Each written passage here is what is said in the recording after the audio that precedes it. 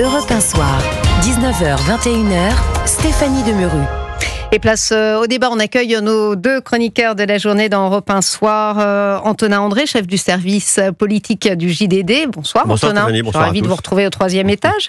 Euh, Nathan Dever, euh, écrivain, philosophe. Bonsoir, Nathan Bonsoir. Dever. Alors, on va évoquer le, le sujet qui domine l'actualité internationale. L'armée israélienne qui a annoncé aujourd'hui avoir récupéré le corps de six otages israéliens à un moment clé hein, où les négociations pour un cessez-le-feu se poursuivent sous la houlette du secrétaire d'État américain, Anthony Blinken, qui se trouve euh, en Égypte. Alors, on va tenter d'y voir plus clair parce que la situation est un petit peu euh, confuse sur place. On va retrouver euh, Frédéric Ancel, docteur en géopolitique, maître de conférence à Sciences Po Paris, auteur des 100 mots de la guerre aux éditions Presse universitaire française. Bonjour Frédéric Ancel. Bonjour, bonjour. Alors, euh, Anthony euh, Blinken a exhorté hier hein, Israël hein, et le mouvement islamiste palestinien à, ne pas faire déroyer euh, les, négociations en vue d'un cessez-le-feu. Le Hamas a accusé Netanyahou de faire obstruction à un accord en vue d'une trêve. Aujourd'hui, c'est l'inverse. Ce serait le Hamas qui est accusé de, refuser alors que Netanyahou a accepté ce, compromis. On a du mal à y voir clair, Frédéric Ancel. C'est surtout un très très grand classique des négociations, quelle que soit d'ailleurs leur nature, hein, euh, dans le monde géopolitique et en particulier en pleine belligérance ou co-belligérance, euh, chacun demande beaucoup pour obtenir le maximum. Bon ça, je, je dirais que c'est Mm. la, la règle des reins euh, dans ce genre de, de situation. Là, nous avons quand même peut-être quelque chose un petit peu différent. C'est un mouvement, euh, le, donc le, le Hamas, un mouvement terroriste qui lui euh, est au, au bord de l'asphyxie. Alors je sais que ça fait plusieurs mois qu'on dit ça, mais mathématiquement, j'ai envie de vous dire géographiquement, si les Israéliens restent sur, restent sur le fameux axe de Philadelphie, c'est-à-dire la frontière Mm. entre Gaza et l'Égypte, le, le Hamas n'a absolument aucune possibilité de s'approvisionner, ni en hommes, ni en armes, ni en matériel. Oui. Et par conséquent, à terme, euh, il perdra. C'est la raison pour laquelle je pense, alors je le dis avec beaucoup de Mm. prudence, Mm. qu'on peut raisonnablement espérer davantage un, un- accord que, ces derniers mois. Euh, Justement, Frédéric Ancel, est-ce qu'on en sait plus sur ce nouveau compromis hein, concocté sous la houlette d'Anthony Blinken, justement sur ce point de passage fondamental hein, euh, au, au niveau de, l'Égypte, justement, ce, fameux accord de, de Philadelphie dont vous nous, parlez. euh, Qu'est-ce qu'a obtenu Israël? Alors Israël, a priori, a obtenu de pouvoir demeurer sur cet axe de Philadelphie, moyennant le retrait de ses troupes euh, des, euh, des, des principales zones les plus peuplées de la bande de Gaza, genre en fait presque tout le territoire, euh, et en ne conservant que euh, un kilomètre de bande entre euh, de, de, de zone entre Israël proprement dit et la, la bande de Gaza. Maintenant, je, je vous dis ça, mais à plusieurs reprises, le Hamas s'est opposé de manière absolument catégorique à cette possibilité, et, et vice versa. Donc moi, je, je sais, Eh oui. enfin, je pense savoir que là, ça c'est la position acceptée à Nice par les États-Unis et par la quasi-totalité des régimes arabes, qui d'ailleurs, il faut le signaler, sont modérés sur cette question-là Mm. et euh, pour l'essentiel détestent le Hamas. Euh, Ça veut dire euh, l'opportunité pour, pour Israël de faire passer des armes, et d'où le désarroi du, du Hamas, on imagine, et, et la- le, le fait de refuser cet accord. Oui, c'est ça, à ceci près que, euh, en échange, le Hamas pourrait obtenir davantage de prisonniers dans les jours israéliennes et des prisonniers à ses yeux plus prestigieux. Parce que fondamentalement, ce que souhaite le Hamas, c'est pas seulement la victoire militaire. Bon, ça, de toute façon, il- l'aura pas, mais c'est Mm. su dès, dès le début. C'est pas son problème. Son problème principal, c'est de demeurer à terme après la guerre politiquement euh, comme la force principale euh, au sein de la population palestinienne et notamment face à l'autorité palestinienne. Et pour ce faire, il a toujours joué les, bah, la politique, d'abord la politique du pire, on l'a bien vu le 7 octobre, mais aussi la politique des, des otages moyennant euh, des, des échanges de prisonniers. Parce que pour la population palestinienne, on peut le comprendre euh, euh, fort bien, c'est quelque chose de très très important de pouvoir voir revenir euh, les, euh, ces, ces prisonniers à la maison. Alors évidemment, c'est le cas également du côté israélien. On rappelle que l'armée israélienne a annoncé aujourd'hui avoir récupéré les corps de, six otages israéliens. Il en resterait plus de 100, hein, 100 otages. On ne sait pas s'ils sont vivants ou, ou pas. Euh, évidemment, ça pèse énormément dans les négociations. Ah, mais non seulement ça pèse, mais vous avez raison de le, de- le souligner, parce que c'est au fond, pour les Israéliens en tout cas, le, point central. Il faut bien comprendre que euh, sur euh, une centaine, effectivement, de prisonniers qui, qui demeureraient entre les mains du... euh, enfin, d'otages, entre les mains du, Hamas, le Hamas n'a quasiment, alors sauf à, à quelques reprises pour un ou deux otages à chaque fois, n'a pas donné euh, les, les n'a pas transmis de signes de vie, euh, de preuves de vie euh, et au mieux de bonne santé de la quasi-totalité de ces otages. Or ça, c'est une pratique qui ne se fait pas. Et, et ça dit quoi, ça, Frédéric Ancel? C'est qu'il faut être ah. éminemment inquiet pour ces otages? Alors, ben, ça peut vouloir dire deux choses. Soit c'est un moyen de pression psychologique et politique sur le gouvernement, mm. euh, le Hamas jouant de manière cynique sur l'exaspération bien compréhensible de la population israélienne et évidemment des familles des, des otages. Donc ça, c'est tout à fait possible et c'est vraisemblable. Soit et ou, hein, l'une hypothèse n'est pas exclusive de l'autre, soit de la part du Hamas, ça signifie quelque chose de bien plus grave. C'est que, un, il ne les a pas tous entre ses mains mm. et qu'une bonne partie de ces otages lui a échappé et appartiennent à d'autres groupes ou des familles qui souhaitent précisément les entre guillemets les, les vendre, les céder à un prix que ne veut pas ou que ne peut pas euh, euh, accepter le, le Hamas. Et, euh, et, enfin, ça peut vouloir dire que le Hamas, en réalité, sait parfaitement qu'il n'en reste quasiment plus de, de vivants. Euh, Frédéric Ancel, ça veut dire quoi? C'est justement ces, ces otages. Est-ce que c'est ce qui a contraint Netanyahou à, à, finalement quand même accepter cet accord? Parce qu'on sait qu'il était plutôt réticent hier. Hein, Anthony Blinken le, le, craignait. On sait que le premier ministre israélien est, est très pressurisé de toutes parts. Hein, son armée, le renseignement, et puis justement l'opinion publique avec la, la question des, des otages. Oui, bien sûr. Le, la pression intérieure, surtout dans une authentique démocratie, c'est le cas pour Israël, elle est évidemment déterminante. Et euh, les régimes ou les États qui sont, eux, autoritaires, voire totalitaires, et c'est le cas pour le Hamas, en jouent, bien évidemment, de manière absolument euh, systématique et, et, et, très intelligible. Donc oui, la pression intérieure, euh, la pression extérieure aussi, parce que c'est quand même la première fois en dix mois que qu'il y a autant de pression, parfois d'ailleurs très amicale de l'extérieur sur Netanyahou. Alors je, je vous donne un mm. seul exemple intéressant, me semble-t-il, quand je parle de pressions amicales, euh, face à une, une potentielle, même si je n'y crois pas, mais face à une potentielle euh, attaque iranienne sur, euh, sur, sur Israël, eh bien, deux puissances importantes dans la région, la France et le Royaume-Uni, ont déjà assuré Israël de leur soutien militaire. Oui. Mais voyez, mais oui, mais ça c'est pas gratuit. C'est-à-dire que fondamentalement, mm. ces puissances-là, mais également les États-Unis, mais également des États arabes, je pense aux Émirats arabes unis, font pression encore une fois, je le répète, plutôt amical sur euh, Israël pour qu'on arrive à euh, enfin un, un, véritable accord. Merci Frédéric euh, Ancel d'avoir été avec nous pour ce décryptage. Je retrouve donc nos chroniqueurs Antonin André, chef du service politique du JDD, Nathan Dever, écrivain philosophe. Antonin André, vous suivez évidemment la politique française. Hein, c'est ce que venait de dire Frédéric Ancel. La France qui a déjà assuré son soutien tout de même à Israël, qui n'a pas lâché tout en exerçant une petite pression sur Benjamin Netanyahou. Oui, la France, euh, depuis le début de ce conflit, de toute façon, est quand même en retrait. C'est-à-dire que c'est pas l'acteur principal de la région. Et on voit bien que les choses se jouent davantage entre les Américains et la péninsule arabique, avec des médiateurs qui sont beaucoup plus euh, euh, écoutés que nous, parce qu'en réalité, la France a quand même déserté ce, ce conflit et, et, a regardé ailleurs depuis bien des années. Donc, euh, mm. on n'est pas les acteurs principaux. Frédéric Ancel euh, interprète, euh, parce qu'il est spécialiste de la question euh, des petits bougers comme ça de la France et de la Grande-Bretagne. Euh, mais en réalité, euh, les négociations qui se jouent en ce moment impliquent beaucoup plus les pays arabes, les États-Unis et, et, la péninsule arabique que la France, qui sur ce dossier doit plutôt manœuvrer avec prudence, notamment pour des raisons de politique intérieure en réalité. Mmh. Euh, Nathan euh, Dever, euh, on voit, on en parlait avec Frédéric Ancel, ce, ce petit revirement de, de, la part de Benjamin Netanyahou, qui, qui est vraiment pressurisé tout de, de toutes parts, mais qui n'a plus vraiment le choix que d'accepter aussi des, des, compromis. Il y a, à mon avis, deux éléments qui sont différents. Le premier, la société israélienne est déchirée depuis le 7 octobre sur la question de savoir dans quelle mesure il faut accepter de faire des concessions pour mmh. la libération des otages. Le discours, en gros, euh, euh, de Netanyahou oui. et de ceux qui sont favorables. Il y en a qui sont beaucoup plus d'ailleurs beaucoup plus sur cette ligne que Netanyahou encore, mais favorables à une poursuite coûte que coûte de la guerre. C'est le discours de la raison d'État, consistant à dire mm. bien sûr euh, les otages c'est inimaginable. Si quelqu'un avait des proches qui étaient en otage, évidemment qui seraient favorables à l'arrêt immédiat de la guerre, à la libération de 10 000, 20 000, 30 000, 1 million de prisonniers contre une personne, parce que c'est absolument terrible. Mais la raison d'État veut que, après le 7 octobre, euh, il faut tout faire pour empêcher un deuxième 7 octobre d'arriver oui. et pour infliger une défaite totale au Hamas. Cette position, elle serait audible, et d'ailleurs, enfin, elle est entendue en Israël, entendue, et personne oui. ne discrédite complètement cette, cette, cet argument. Mais le problème venant de Netanyahou, et plus globalement euh, du, de certaines personnes au gouvernement, mm. c'est que depuis le 7 octobre, ils n'ont pas montré beaucoup de signes de compassion vis-à-vis -vis des otages. Euh, Monsieur Netanyahou a mis des semaines entières à rentrer en contact avec les familles des otages.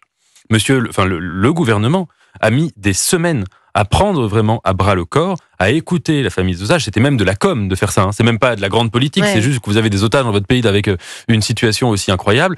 Au moins, ne serait-ce que par cynisme, ne serait-ce que pour remonter un peu dans les sondages, vous les voyez et vous mettez un communiqué ou un, ou un tweet. Il n'a même pas fait cela. Tant et si bien, Mais Pour quelle raison? Pour une raison, euh, euh, à mon avis, importante, c'est que la classe politique israélienne aujourd'hui, elle est dans un état, euh, bien avant le 7 octobre d'ailleurs, lamentable. Et que euh, au lendemain du 7 octobre, ça a été un, un discrédit qui a été jeté sur elle, une telle faille sécuritaire de la part d'un des gouvernements qui employait le plus le lexique et le langage sécuritaire. euh, c'est quand même, euh, je pense que ça leur a mis une gifle inimaginable. Mais ce qu'il faut bien souligner, c'est que cette question des otages, elle a été traitée en Israël essentiellement par la société civile, des œuvres de solidarité incroyables, euh, un centre à Tel Aviv euh, que j'ai visité qui s'appelle le Centre des otages, dirigé notamment par une ancienne euh, députée travailliste qui s'appelle Émilie Moiti. Et ce centre-là n'implique pas le gouvernement. Et c'est lui essentiellement qui fait un travail de communication, mais aussi de renseignement et d'aide, de soutien psychologique aux familles des otages. On pourrait aussi mentionner les manifestations qui ont lieu toutes les semaines depuis dix mois euh, à Tel Aviv, partout dans le pays, mais surtout à Tel Aviv. Initialement, des manifestations de solidarité vis-à-vis des otages, et évidemment, elles ont pris très très vite une dimension politique euh, jusqu'à être perçues, et en partie, à juste titre, en partie, comme des manifestations euh, anti-gouvernementales. Messieurs, vous restez avec nous, Nathan Dever, euh, Antonin André. On, on continuera un petit peu à parler de cette euh, situation Proche-Orient, mais surtout comment cette euh, situation vient se répercuter sur la convention démocrate qui se tient en ce moment même à Chicago. Restez avec nous dans Europe un soir. Rue. Et place au débat, on retrouve euh, nos chroniqueurs du jour, euh, Antonin André, ou plutôt de la soirée, euh, chef des services politiques du JDD. Bonsoir Antonin, Bonsoir. Nathan Dever, écrivain et philosophe. On Bonsoir, parlait il y a Stéphanie. quelques instants avec Frédéric Ancel, un de ces pourparlers qui vont reprendre donc sous la houlette d'Anthony euh, demain au Caire. Clairement, Nathan Dever, est-ce que ces négociations ont des chances d'aboutir? Ça fait quand même le dixième round. Je je je suis pas devin et je peux pas savoir. Je pense que en plus euh, le, le, le comportement du, du Hamas, euh, quoi qu'on en dise, est tellement difficile à décrypter. Il a envoyé encore aujourd'hui un, un communiqué pour dire qu'il refusait les dernières conditions euh, euh, euh, proposées par par Israël, alors que Israël s'était montré objectivement euh, plus conciliant. Et d'ailleurs, Mhm. c'est un peu ce que disait Frédéric Ancel. Mais je, je pense que encore une fois, l'enjeu est vraiment triple. Il y a l'enjeu des otages, qui est central, on en a parlé. Mhm. Il y a un deuxième enjeu qui est évidemment majeur, c'est l'enjeu de la situation humanitaire à Gaza, qui est terrible, et les civils de Gaza euh, qui vivent entre le marteau et l'enclume euh, du terrorisme islamiste du Hamas et euh, des bombardements euh, et des, des opérations militaires de la guerre israélienne euh, sont dans un état qui est euh, indescriptible. Ça, c'est un enjeu majeur. Et il y a un troisième enjeu qui, à mon avis, est, est plus complexe, là, à prévoir, qui est la question de savoir dans quelle mesure le Hamas sera anéanti au terme de cette guerre. Il suffit qu'il euh, euh, ait une défaite partielle.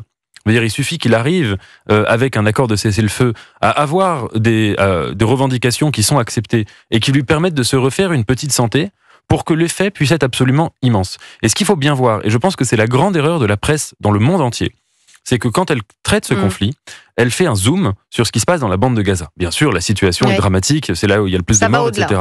Le centre de gravité est en Cisjordanie.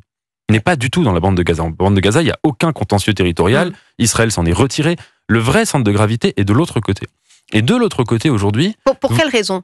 Euh, pour une raison très simple, c'est que là, c'est là qu'il y a un contentieux euh, euh, territorial avec la politique d'implantation ou de colonisation, peu importe le mot, menée par Israël depuis accélérée depuis 20 ans et Netanyahou s'engage à l'accélérer énormément. Et avec une autorité palestinienne aujourd'hui qui ne tient plus qu'à un fil. C'est-à-dire que vous avez en Cisjordanie des populations qui de plus en plus veulent d'un pouvoir ou bien remis au Hamas ou bien partagé entre le Fatah, le parti actuellement au Oui. pouvoir à Ramallah de, de Mahmoud Abbas, et le Hamas. Et pour une raison très simple, c'est que l'autorité palestinienne, en plus d'être corrompue et de ne pas avoir organisé d'élections, euh, là a montré, du point de vue de la cause palestinienne, une telle faiblesse. Je parle dans la Palestine d'avant le 7 octobre. Une telle faiblesse, une telle incapacité à, à porter sa cause, face notamment aux, aux accords Abraham, face à la politique de Netanyahou, qu'il se passe cette- cette- cette- cet enjeu-là. Et le Hamas le sait très bien. Ils sont tapis dans leur tunnel de Gaza, mais ils savent très bien que les moindres de leurs actions ont un impact, une vague d'influence centrale en Cisjordanie, et que c'est cet endroit-là, plus que Gaza, qui pourra faire basculer le conflit dans un sens ou dans l'autre, dans les années et même dans les décennies Mm. à venir. Alors, J'ai- euh, on a j'ai- vu- j'ai- oui, j'ai deux Antonin, réserves, Antonin j'ai deux réserves à apporter. D'abord Gaza. oui. euh, je, je, suis en désaccord total avec vous, c'est aussi un aspect du problème. Gaza, c'est une prison à ciel ouvert qui est complètement cadenassée par Israël et sur laquelle prospère le Hamas parce que, d'une certaine façon, euh, la vie qui, qui est euh, organisée ne repose que sur la capacité du Hamas à avoir des œuvres sociales, à donner à manger aux gens, mmh. à organiser la vie dans une prison à ciel ouvert. Donc, on peut très bien considérer que ça n'est pas un sujet.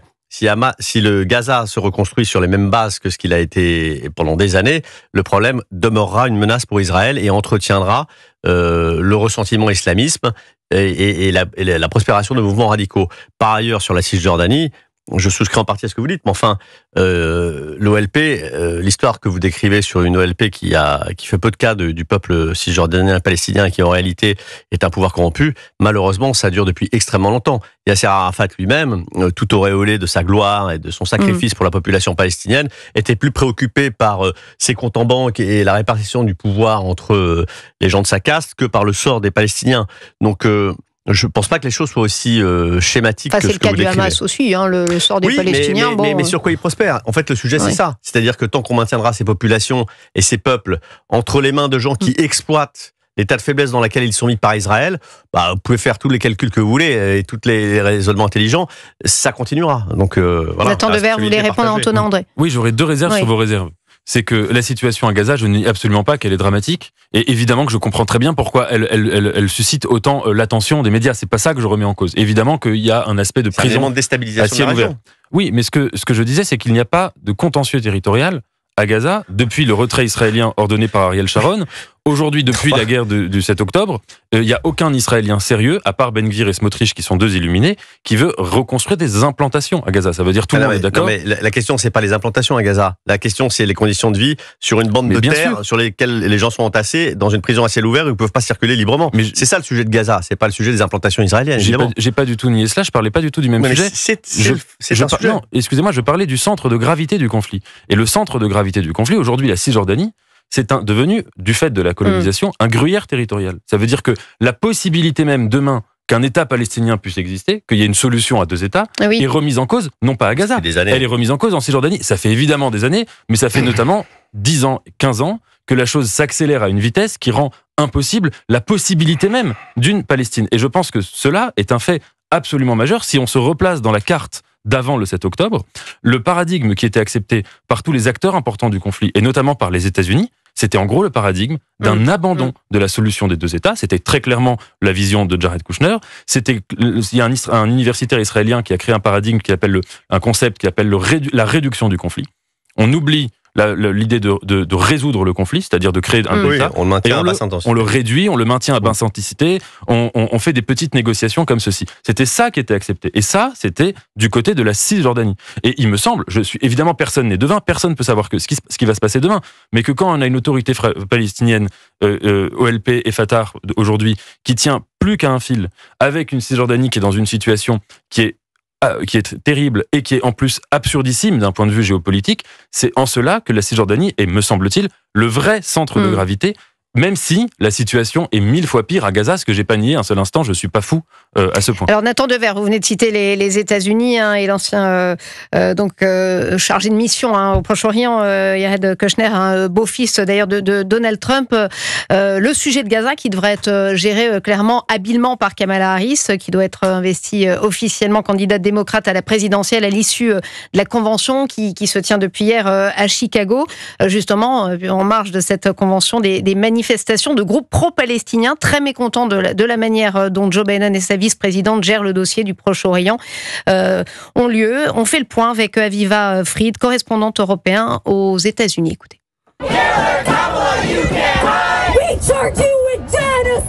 Kamala la tueuse, nous t'inculpons pour génocide. hein. C'est à ce cri que les manifestants ont défilé au milieu d'un imposant dispositif policier qui n'a pas empêché les militants de donner de la voix. Les manifestants, pour la plupart revêtus d'un kéfier et agitant des drapeaux palestiniens, reprochent à l'administration Biden son soutien à Israël. Sarah, sa fille d'origine syrienne, ne sait d'ailleurs pas encore si elle votera démocrate en novembre. En tant qu'arabe, tout comme d'autres arabes que je connais, ou franchement quiconque se préoccupe des droits humains, je ne suis pas à l'aise avec l'idée de voter pour une criminelle de guerre. Tout cela pourrait faire les affaires de Donald Trump aux grandes dames de Denise de Ligol. Elle départ hein, avec son t-shirt voté pour Kamala, mais pour elle, il n'y a aucun doute. Trump est le prochain Hitler, c'est vraiment une mauvaise personne et s'ils ne comprennent pas ça, honte à eux. Ils devraient s'informer. Un message loin d'être entendu, certains ici se réjouissent même d'avance de pouvoir faire tomber Kamala Harris en novembre. À Chicago, à Viva Free d'Europe 1. Alors c'est vrai qu'on a un petit peu le, spectre de 1968 où on se souvenait que Johnson avait dû jeter l'éponge après des manifestations contre la guerre au Vietnam. Alors euh, évidemment Gaza n'est pas le Vietnam, mais euh, c'est quand même euh, un objet de tension, Antonin André, qui peut diviser les démocrates quand même clairement. Vous allez me contredire, je le sens. Je ne pas douter votre point de vue, mais on parle de quelques milliers de manifestants qui sont assez peu représentatifs à mon avis du peuple américain. J'ajoute que la question palestinienne aux États-Unis ne sera pas l'alpha et l'oméga de l'élection mm. Euh, aux États-Unis. Non, mais un sujet de dissension euh, pour les démocrates, quand même. Hein, c'est pas le moment. Vous avez bien entendu les, les, les, sons qu'on vient d'entendre, mm. des gens qui comparent Trump à Hitler. Bon, on voit bien qu'on a affaire à une mm. poignée d'excités.